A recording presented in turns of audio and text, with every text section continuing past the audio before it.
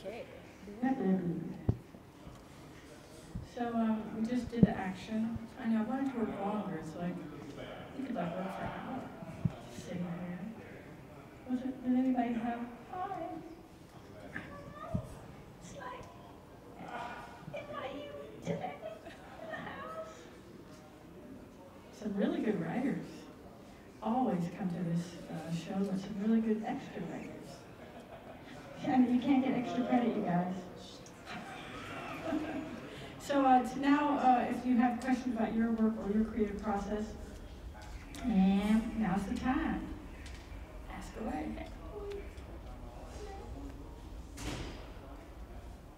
Yes, Adam. Welcome back. Thank you. Um, I was just thinking about how um, it's, you know, they say that you should write what you know and all that kind of thing, but what if I wanted to write, say, from the point of view of like an elderly Hispanic woman? Like, obviously, I'm not any of those things, but like, Right. you know, if I really wanted, because I feel like there are so many stories about a young white man in, you know, New York. You know, how, what advice would you give for kind of like writing outside your own skin? Right. Well, good question, Adam. Uh, the first thing I would say is that um, uh, in my, well, this is, this is obviously my opinion. I would like never suggest that one writes, quote, outside one's own skin, unquote, because, to paraphrase, there are so many stories already about my particular group. Right? So, because that's, that's, um, that answers the question, how much skin do you have in the game? And if the only skin you got in the game is the skin of, yo, I want to write something that might be more interesting to people looking at work because there are so many stories written about my particular group, then that's like no skin. And if you don't got no skin, I would say like, I just meant because like I more like to kind of promote like diversity in literature.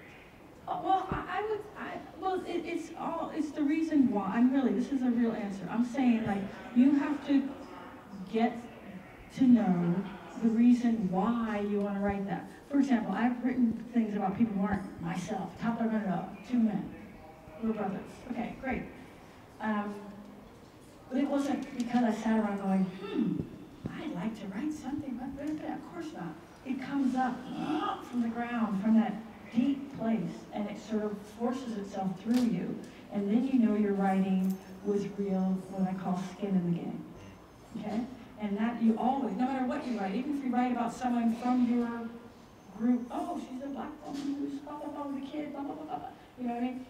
Still, you have to say, how much skin do I have in the game? Okay, so you always have to ask that question, but especially when you're writing someone who you, you think isn't like you, right? Especially, especially, especially, because what you all know, and whether you watch the Oscars or not, we live in a time where, where people's shit is being appropriated big time, and they're not being invited to the party once it starts to go to the bank. That's a nice way of saying it, right? You know what I'm saying, right? People is being appropriated big time. And when stuff goes to the bank, they're not being invited to the party. And so I feel like it's up to those of us who are still able to think and feel to go, hmm, what's my part in that? Not will I not do it or whatever, but what is my portion of that bullshit, basically? Because we're all in the bullshit. We live in this country. and We're part of the bullshit, okay? So, what is my part in the bullshit and how do I do something about that lest I just continue it without thinking? So, you write someone who's not like you. And you think, what is it? What story is it that you want to tell that you can't tell from where you are right now? You know what I mean? And then you, if you, if you, you have to, every time you ask those questions, it has to be a yes. And if you get more no's than yeses, you're better off writing someone closer to home. Writing someone who's not close to home is a really specific skill. Okay? So I would suggest, and this is different from writing what you know, I would suggest write someone closer to home and dare to write something that might look like what a lot of other people are writing. Don't just jump out of the, your, the boat of yourself because, okay? Go ahead and write someone from someone, from some, something like you. It's okay. You know? I mean, how many plays, novels, movies, screenplays, TV shows, poems, songs have you written? I I, I don't keep a num- uh, count, but A hundred? no, One a day for a whole year? I'd like to say so, but no. No. Okay. Seven? Seven. Okay. So this will be number eight Yeah, yeah. of the entirety. I mean, like, there are short stories that have been started and stopped. Oh, that doesn't count. That don't count. That's like a, you know, if you've ever gone to the bathroom and the shit starts coming out of your butt. It's got to drop into the toilet to count. Right? I mean, that's what, I know. You guys have heard, say, you know, you know, yeah, the plot is like a cold, you know, plot is like a cold and you just got to keep moving along. I know, it is, it's true. But you know what I mean? Just got to land to, to be real. Okay. Um, or a baby being born. There's, that's a better one, I guess. Um, okay, so, so go ahead and, and go ahead and like, write a, uh, yeah, I'm gonna write something about me. Okay? And when you grow out of that, you'll grow out of it, maybe if you're that inclined that way, and then you'll think, wait a minute, I'm writing something about a, an 85-year-old man from Saskatchewan. You're not from Saskatchewan. Damn, oh my goodness. And it's set in 1816. Oh my goodness. And then you're, you've sort of earned it in a way, and not gone to it just because you think it might be marketable. Which isn't what you're saying, I know. But that is the business we are involved in. That's what people do. That's a heavy question. All right, Adam. I'm glad that you're back. I'm glad to It be was back. good to meet you last week. Anybody else? Yes. Hi. What's your name? I didn't even know your name. Okay, you're right. I should have said Well, I know you have to. no, it's just I was nervous. My name is Jessica. Jessica? Jessica? Yeah. Okay, Jessica, cool. Okay. Oh, I didn't know I was gonna be on camera. Oh, you have, a- you have, oh, you, you know, you're. It's cool. Ah, you can hold something in front of no, it's face. cool. I Okay. committed to looking a mess today. So. You look, no, I'm gonna say, absolutely, look, actually. You look no, I don't. But it's cool. I committed to it. So anyway, um, my question was, I kind of forgot it now, but it was like, how do you you mentioned it, and I wanted to parlay. How do you like find a balance between trying to create something that is marketable and is going is going to be profitable? And I know that's it, a lot goes into trying to determine that, and then also staying true to like what you want to create. Like as a writer, writing is art, right? So it's essentially you're creating something, and in writing there are a lot of different rules, and you know things that you have to adhere to for anybody to take it at you know face value, but still like you know as a freelance writer or you know aspiring freelance writer, how do you you know still stay true to that, but you have to eat too? Mm-hmm. Or should I just like commit to like having like a a side career, a job, or work in retail while I try to, you know, bump my way around in the dark until I come up with some gold or something. Like, Right, right. if that I makes sense. I, I hear you, I hear you. Um, it's, it's really hard to guess what's gonna be marketable, okay? It's really, really, really, really, really, really hard. Um, so, I would suggest just staying true to yourself. Now, this is what happens. You just, what could happen, what happens for a lot of people, you stay true to yourself, and then you have kind of a couple of different tracks that your career starts to run on. You run on the stuff, you stay true to yourself track, where you're writing your thing just for you, okay? And then you get maybe a work for hire. Someone hires you because based on the quality of work that you've exhibited in your stay true to yourself stuff, they say, wow, Jessica's a good writer. We're gonna hire her to do whatever, work on a TV show or have a commission or write this article or whatever. They start hiring you to do things. So based on your excellence in your stage to yourself field, you get hired to do work for hire. And that's a way to make a living. You can also be recognized with prizes and awards, and that can give you an opportunity to do other things. So I would say if, you, if you're trying to kind of like, I mean, stumbling around the dark, right, in the mine, trying to find gold is a lot better than shooting in the dark, trying to hit a target. Oh, maybe it's over here. I mean, that's even worse. That's so bad. So I would say stay true to yourself, do your thing, get better and better and better at it, and people will begin to notice you and you'll get hired to do things that are more profitable. Or you'll be invited into those meetings where you'll say, pitch us some ideas, Jessica. What do you want to write? We'll commission you. Or we'll hire you to write a TV show or create a TV show or something like that.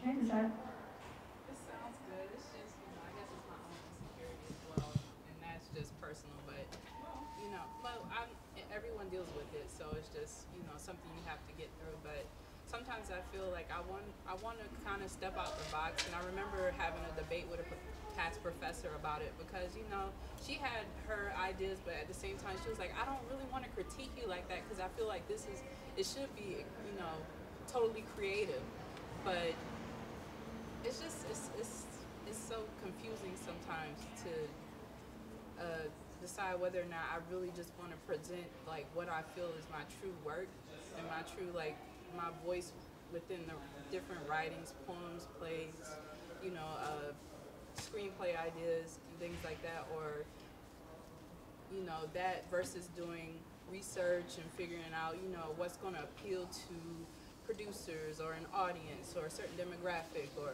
you know you know trying to find all that. I, I would, get- and, we draw, and it's as if you, we've got these splits in our mind, and I was talking with, uh, some of my students, because I teach at NYU, so on Monday, so I had some students this morning, and the, we, the distinction was being made between, uh, uh, being a writer who writes good characters and being a writer who writes good plot, and how, oh, you know, it's either one or the other, right? It's either financially rewarding or it's creative. See, we got these separations in our mind. We're taught these things. There's actually, it's not either one or the other. You can start to remind yourself that what is creative can also be financially rewarding. Why not?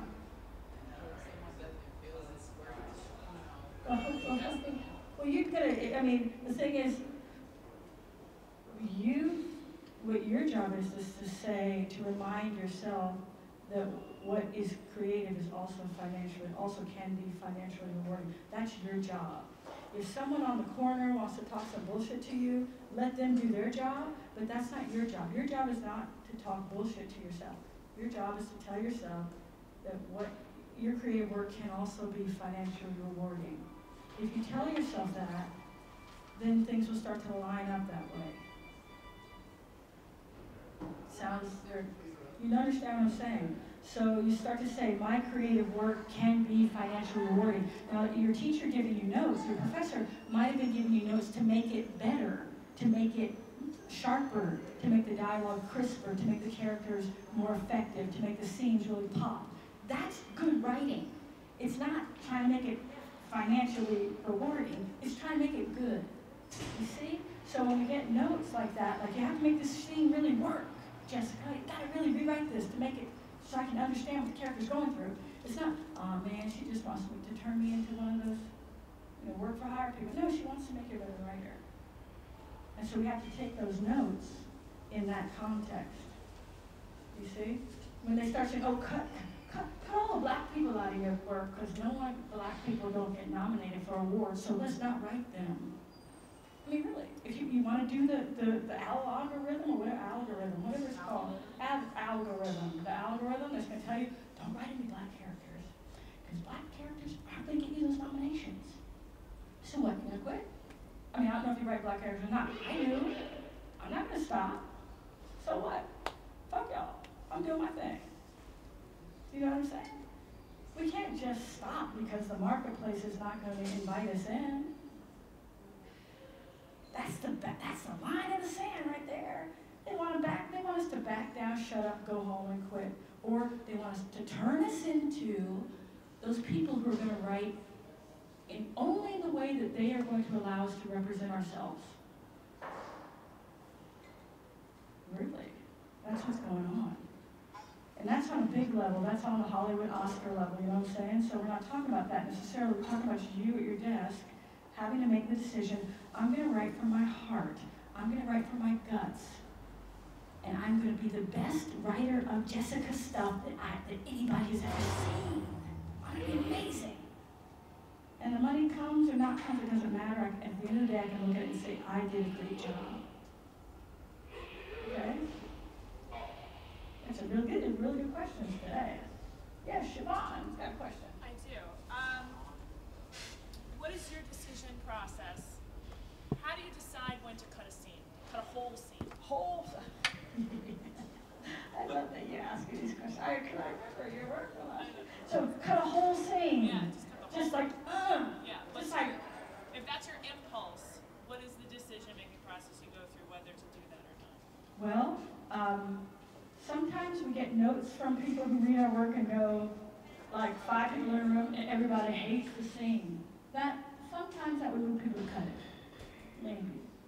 Okay? Sometimes every time we read the scene, we go, nah, this is just bullshit. This isn't working. This is so not working. I really like it because this is a scene where she gets to wear the pink dress. I want her in a pink dress. You know what I'm saying? Yeah. It's time to cut the scene. Okay? Ask yourself, is it helping the story? Is it telling the story? Is it, is it, like we said earlier today, is it generating the next scene? Whether it's a novel or a play or a TV show or whatever. Is it pushing the story along? Is it telling us something about the character, what I call vertical plot? It's not just this way, but sometimes plot is developed vertically, right? Yeah. Is it telling us something that we really need to know? That will pay off somehow in the relationships that we will see later. Vertical plot.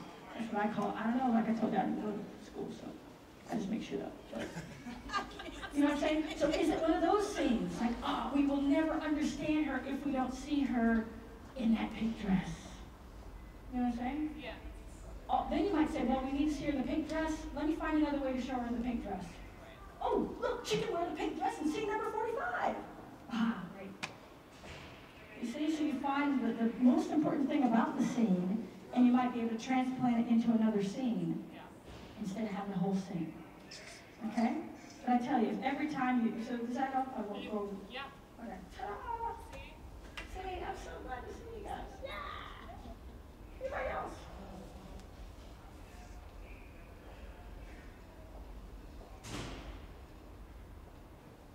This one over there. Oh, yes. Hi. Hi, Elena. Melena. Hi, Melena. Um, and my question is, where do you start? If you are really passionate about a, a subject or a topic, but there's so many swirls and intertwining kind of pieces of information, where do you start putting it down on paper? Do Right. you record it or do you? Right, right, right, right, right. What, what's a good way to start? So Melena says if, if uh, there's a subject that you're really excited about, but there's so much swirling information, how do you get started, right? So it's funny, um, I think it could be the same thing for every project. You start by putting the time in, right? Do you have a writing time, period, during the day? Okay. Do you have a time, a work time, a creative time during the day? You do.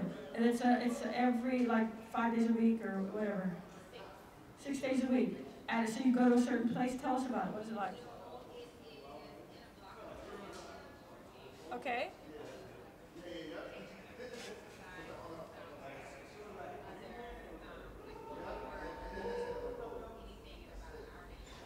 Okay. Okay, so it's at the beginning of your day. It's a block of time in the morning.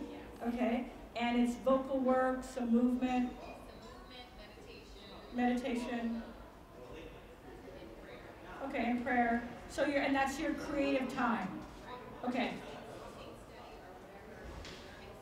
Okay. Great.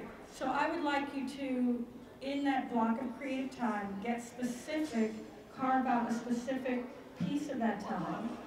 You know, is not just or is this something you already do? Right, so carve out a, because you've already made the time, so get a specific piece of time in your creative period, in your creative time during the day, to sit down at your, wherever, right, with a notebook or whatever, and write longhand, you're a dancer, so you, you move, you're a kinesthetic learner. I'm guessing. So moving is good. So you can even stand and write if you want. And you can do 20 minutes a day, uh, every creative period. 20 minutes, a magic number, I think. I don't know, I gotta do research on it, but 20 minutes. Use a timer, not your phone. Everyone knows your phone is cracked.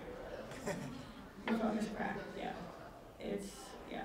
Um, okay, because your phone has all these wonderful things on it that want to entrance you, okay? So you're gonna use a timer for 20 minutes, each writing, each creative period, where you're gonna be with your notebook writing on this topic. Okay? So we're gonna focus it in and move, I don't know if right hand or left hand, right? 20 minutes, six days a week. See what happens. That's where you start. You start by making the time. And if you already have that time period, you start by getting more specific with your time. Okay? No, no, no. I'm just blah blah. I'm just going blah blah blah blah. I want to write about a unicorn. You know, whatever, right? Whatever it is. 20 minutes on the topic. Right. Okay. And if you want, pick a designated notebook. So you, so it's not a notebook with everything else in it, because it seems like you put a lot of things together at once. Yeah. Get a designated notebook. Pick a color that you like. Doesn't have to be expensive. Okay. Hey, Jesse Alec. Hi. Hiya. That's good? Helpful? Thank you. Good. Yes. Listen, I slipped. Yeah, how you doing? Are you still a dropping skills Alas, they keep. No, I'm joking. No, I'm Yeah. still a donor school. Congratulations again.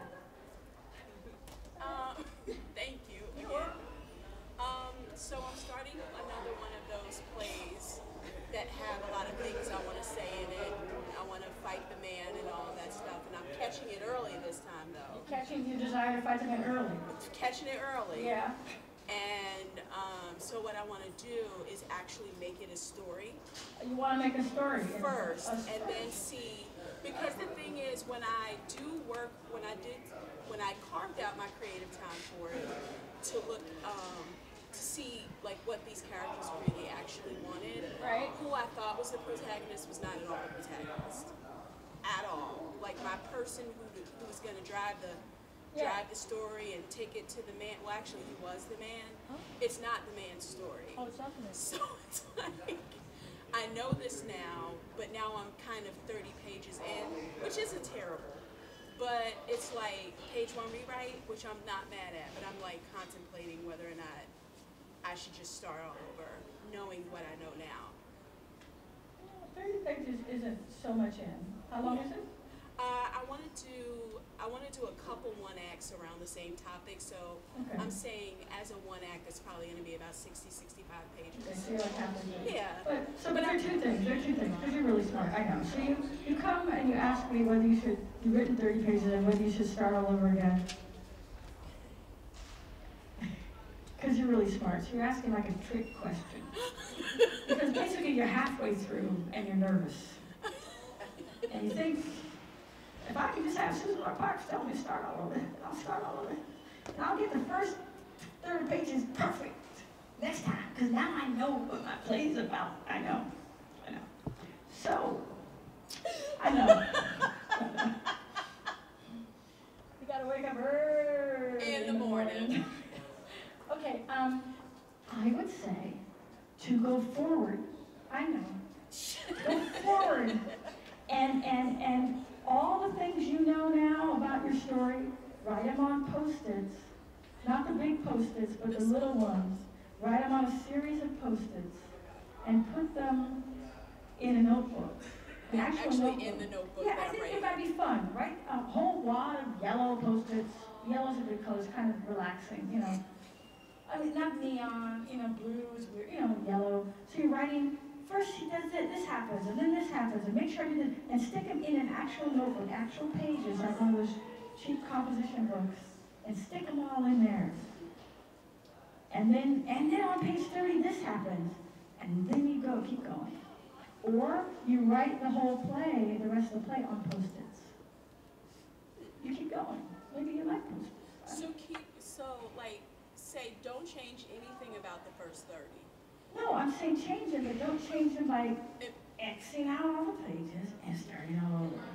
Change them, but change them on little post-its. Like, this is what I know has to happen in the first thirty pages. This, and then this, and then this, and then this. So change as much as you want, but don't, new document. Feels much better now.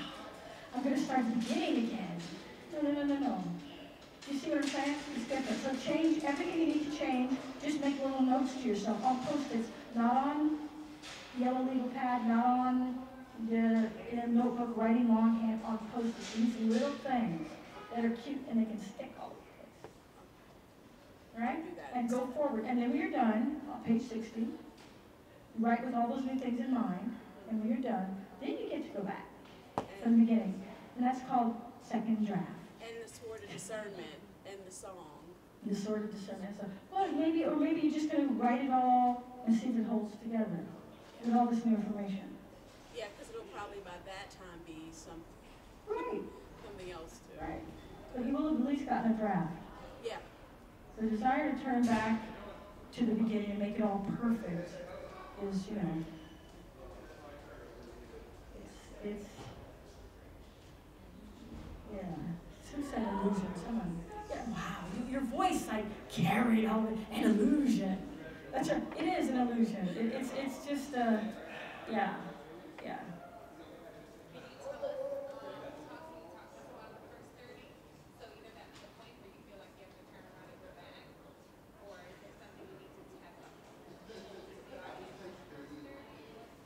Well, the specifics actually don't matter, which is why we're, I'm not asking Stacy about the specifics. They actually don't matter. What mat, I mean, they are, they're important, good question, but what really matters is her mind and the way she's thinking about what she needs to do to make it right. You see? That, and that's why it's an illusion. Because to fix, she really probably does need to fix it. Sure, we're not discounting that. But the desire to go back and rewrite the first 30 pages, because what happens is then you, you're in a loop. And I, I, I, most folks will go back and they'll rewrite them again. And then they'll have another great idea and they'll rewrite them again. And at the end of this year, they'll have 30 interesting pages and about 127 drafts. Ryan, I'm looking at you.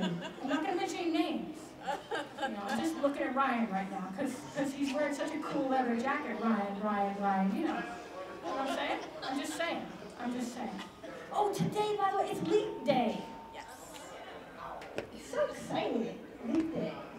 I don't know, like do something extra. Yeah, right, like jump up and down. Yeah, okay. It's just this. Yeah, It's just that. It's just that. Ah, okay. But does that, does that help? Try that, because what happens is, if that doesn't work and all, you know, but really, if we get to the end, then you'll have so much more of an understanding. I think I just feel so like, especially after like just stopping and doing the exercise because there's so there was so many moving parts and there were some things that I just couldn't say maybe in this in this particular play of the series that could maybe live in another play. And so determining the things I needed to cut out made me think, well, it's all entrenched in the earlier shit instead of just keep going. Just keep going. Because. I feel very unsure. Nemo, what did they say? Just keep swimming. Just keep swimming. That's right. Just Just, keep swimming. Just keep writing. Just keep writing. Get to the end, and then fix it. It's just as a spiritual practice. Just as a spiritual practice. Just do that. There's something magical you get to do. You know. Yeah. Yes. Anybody else? Yeah. You were a few years. You look vaguely familiar.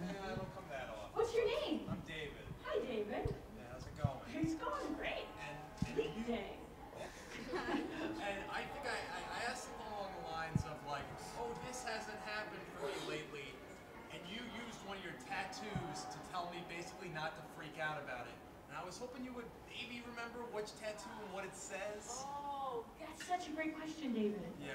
Yeah. Has it happened for you yet? Whatever you're waiting for? Yeah, you know, it, you, you, you made me feel less like shit that day. So, you know. Well, you know what's wonderful about my tattoos is that they each say the same thing. Yeah. So I only have to remember one, and I can, and I can just say it three times. So the tricky thing is, is that one's written in small type, then middle-sized type, then bigger type. My idea was to get it XL, large, but I was like, nah, overkill. Three is a good number. It's good enough for the Trinity, it's good enough for me. So, um, so it says, it's from the Yoga Sutras. It's sutra number one, two, three. So it's all this joke, right? You can do the joke, right? Okay. Sutra number one, two, three. If any of you are old enough or have a, you know, remember that song. ABC, easy as one, two, three, simple as do, re, mi. ABC, one, two, three, do, re, mi, baby, you and me, girl. Anyway, but, so the sutra says Ishvara Pranadhanani Va, which is horribly pronounced Sanskrit. It means either go with the flow or submit your will to the will of God. So so we say, what time it is? Because I don't have a watch. Unlike Chris Barlow, who's a Mac genius and has one of those watches.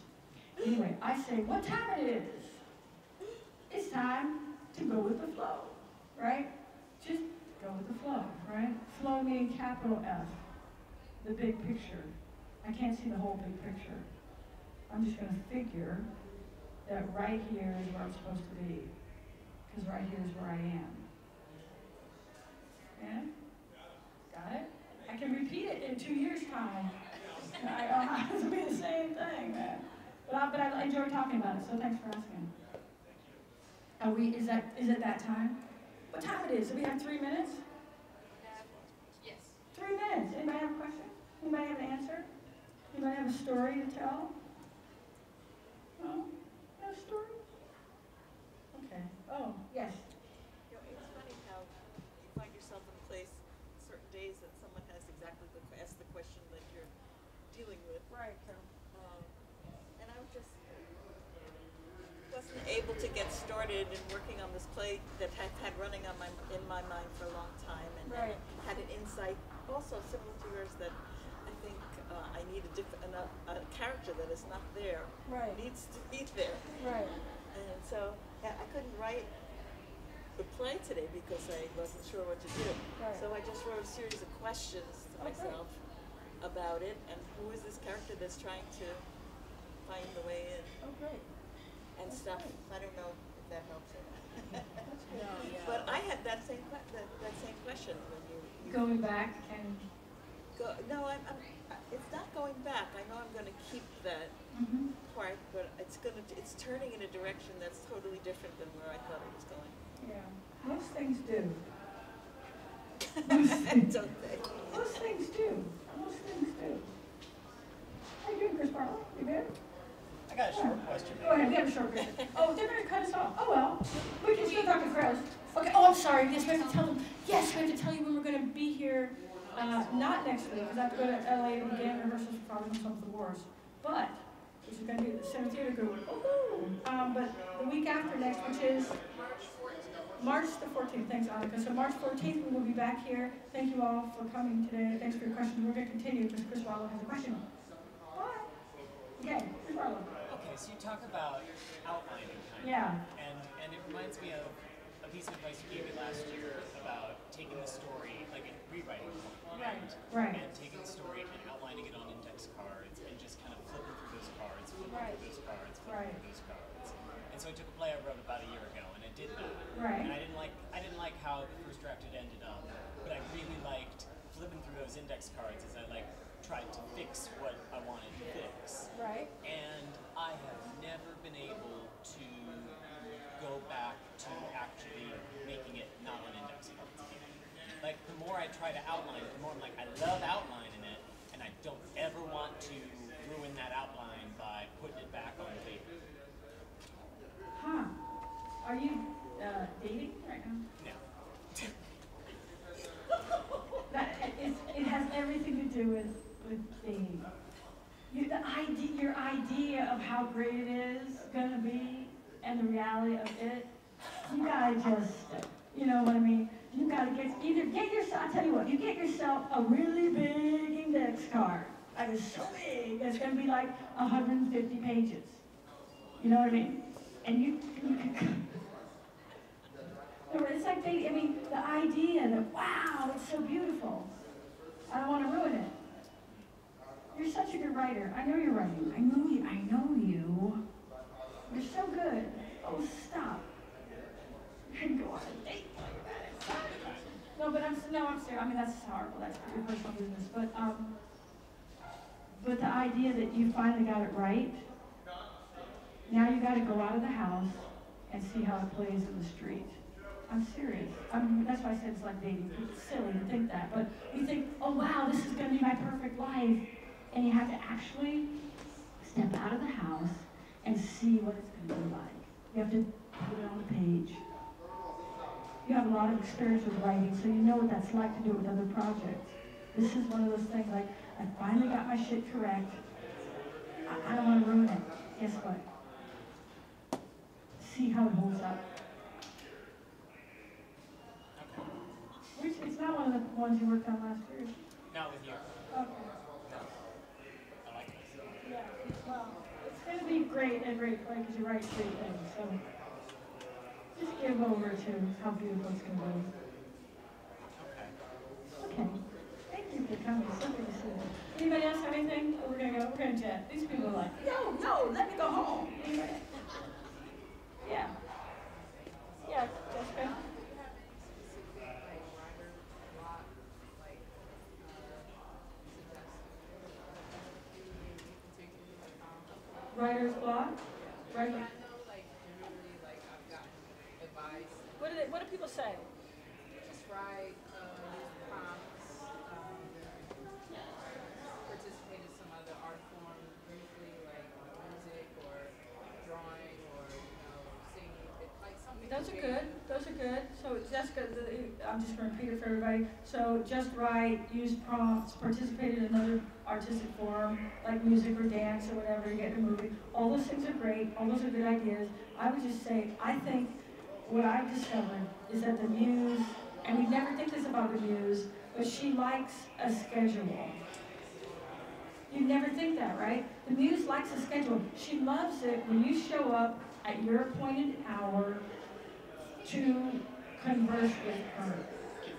So if you make it your mission to have a daily practice or an almost daily practice, to show up at a certain spot and say, like you're gonna call a friend, hey girl, how you doing? She, she will more often than not be there for you. And just to sit there and put the time in, putting the time in, I mean, just right is kind of fuzzy for me. Putting the time in, put the time in, it's not your phone, because your phone is cracked. Okay? Just put the time in. And start saying nicer things to yourself. Saying that like you made a commitment, like not to look good today or whatever. I'm sorry. I just like something I have to really like, Just, just, no, just, you know, you look great. I, I'm serious, when I saw you, I was like, wow, you look cool. I wonder who you are. That's what I thought. So it must be true. You're welcome. So just that, that'll go a long way to helping you feel, because we're all just needing to feel okay. Not great, but just okay. And the more okay you feel, the more it's possible for you to get your work done. Okay? Now we're gonna go. You wanna go? Unless somebody has a burning, burning question. So, no. Not burning. I have a question. I have Yeah. a burning question. Go ahead. But it's kind of an actor's question, and I guess, I don't know, because you're my favorite writer ever, like Uh-oh. there's something Pressure's about. on now. well, there's something about having permission somehow, um, Right. which is that. If, did you hear how Amy Schumer wrote that she writes because she, because of her belly, and if she didn't have a belly, She wasn't right. she wouldn't have had to write for herself because other people would be writing for her. I don't have a belly. I'm a water right. Anyway, but yeah, I know, I know. That's why I heard. I heard. Yeah. And I just kind of feel like, She's great, by the way. I'm a big fan of her. yeah, me too. Yeah, And I, yeah. and I, and so sometimes I feel like as an actor, like I, I feel like I have to be, be a writer just so that I can act, you know. But in a, but in a certain way, that feels disrespectful to writers because I'm like writing. I think of acting as an art, writing is an art. Is it disrespectful of me, who that's not my art, to be going and trying to do that, you know, just so that I can act? Well, no, I, I mean, I think we'll always have reasons to talk ourselves out of what we want to do. If that's your reason to talk yourself out of writing, then you're disrespectful to writers. No, man, writers, we don't, you know, we don't sweat it. You can write your own stuff. I mean, no one's gonna write the exact stuff that Amy wants to, although Trainwreck, if anybody saw it, I don't know what happened in the last twenty minutes of the movie. Someone fell down on the job, that's all I wanna say. She needed a writer, hello, or the, whatever, but, but I think that, um, no, it's not disrespectful if you do it well. You know what I mean? If you're just writing so you can have parts, I think Amy didn't, wasn't, isn't just trying to get parts, she's also wanting to get certain kinds of things said and, you know. You know, she's not, she's not trying to get roles. Um, if you want to write about things that are specific to wherever it is you're coming from, you have a right to write those things. You don't need a license. You know? You can start calling yourself a writer if you want. You can't. Well, you were like, I'm just giving you, per- I'm giving you permission. You can call yourself a writer. I'm gonna call myself an actor. I'm an actor. I'm in a play. Look, I'm in a play. You know what I mean? It's okay. You can call yourself a writer. I write. I, I'm an actor and a writer. I write things too sometimes. You can say you can frame it any way you want. You're allowed to, to do what you got to do. You know, you're totally allowed to do what you got to do. No problem. You just gotta work as hard as these people over here. They're working hard. You know, you, I mean, you have to treat it with seriousness, like they would if they started acting. They would treat it as an incredible craft that they really want to be good at. You know, I know these. So they work really, really hard. So you have to work at least as hard as they would at your craft, at your chosen craft. Yeah, and you will.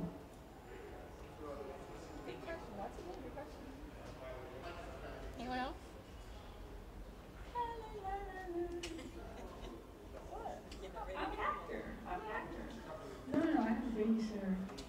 I have a baby, I have a babysitter till seven o'clock. Hey, did you see him running around here?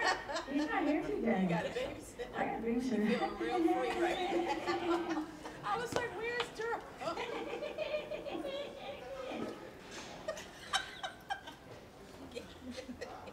Anybody, we're okay. Look, they're- they're like, okay, it's time to go. Okay, we're going. Okay, bye. We'll see you next time.